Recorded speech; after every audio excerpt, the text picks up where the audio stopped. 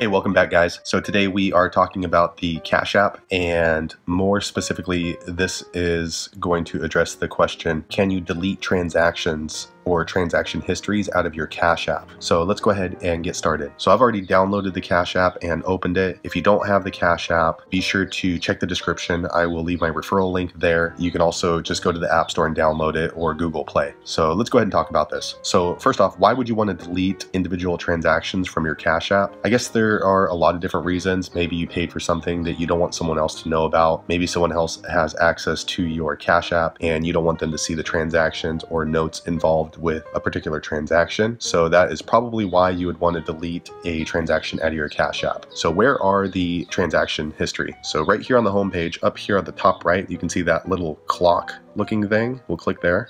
All right, so here we are in the clock or the historical transactions. And unfortunately, you cannot delete individual transactions when you are in the Cash App. So it's just not a function that is available. So for example, this one right here at the top. So you can't scroll it to the left you can click on it and then once you click on it then you can see the historical transactions and then there's these three dots up here. As you can see nothing to delete this one particular transaction. So no you cannot delete individual transactions on the Cash App. If you want to delete the transactions so that you or someone else does not have access to it, then you'll have to follow the steps to completely cancel your Cash App account. So what that means is once you've canceled your Cash App, you cannot use it to send money and you cannot use it to receive money. If you want to use Cash App again, then you'll have to re-register. But that's the only way that you can delete these transactions, so that's kind of inconvenient. And then even if you close down the Cash App account, then that just means that you don't have access or someone else doesn't have access to these transactions. But Cash App, since they're a financial company, they're probably going to keep records of these transactions for a long period of time. I'm sure that there's some sort of requirement for them to keep these records, so they're not going to disappear and vanish into thin air. So just to kind of go over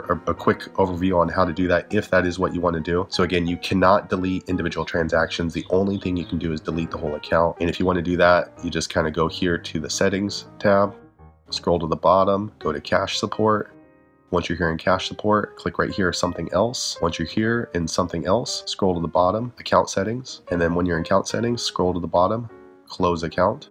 And then if you have zero money in your Cash App, then you will see a button here confirming that you want to close your account down. But again, that's the only way that you can delete those transactions out of your account. So you'd have to delete the account and then restart a new Cash App account, and that'll give you a clean slate, and all those uh, transactions won't be available in that app. So, yeah, sorry, wish I had better news as far as deleting individual transactions, but it's not possible. Hopefully, the video was useful. If so, click thumbs up, and I hope to see you on the next video. Thanks for watching.